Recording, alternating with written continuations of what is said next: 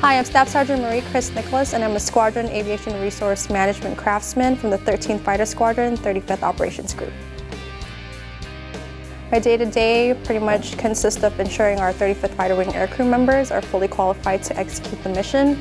Every day I conduct go-no-go checks on their flying and ground training um, to make sure they meet all the requirements to fly. So we're here to track all that it's pretty cool because you know we work directly for the fighter pilots. For um, in different bases, we can work for the combat controllers for the PJs. So you can you're so close to the mission that you actually you can see you know what impact your job does. And at the end of the day, it's very rewarding um, to know that the jets are able to take off because of your job.